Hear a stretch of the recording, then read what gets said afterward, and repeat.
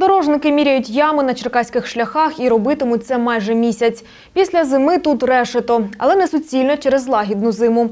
Особливу увагу інспектори приділяють дорогам державного значення. Їх по області близько двох тисяч кілометрів. Юля Доброскок далі. Там є дві вибоїни, доволі такі глибокі. І як наслідок, от якийсь водій вскочив в яму і загубив, загубив колпак.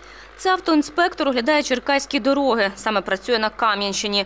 Каже, по області нині вистачає бездоріжжя, а звідси й аварії. Аби хоч якось убезпечити водіїв, на дорогах встановили більше сотні попереджувальних знаків про ямковість і розбиті дороги. Найбільш непроїзну для себе вже визначив.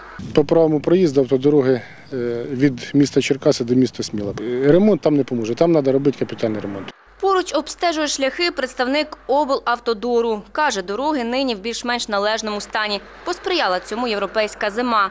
Та й готуючись до Шевченківських днів, на Черкащині підлатали чимало доріг. Виявляємо наявність ям, деформацій у вигляді колійності, пучиноутворення, ну і так далі. В цьому році значно менше питань до стану проїзної частини.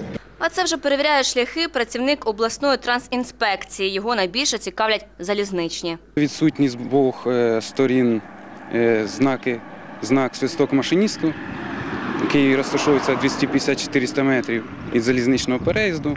Перевіряльники гуртом інспектують дорожні шляхи від початку квітня. Після Кам'янського району поїдуть із ревізією у Смілянський, Городищенський і Корсунь-Шевченківський.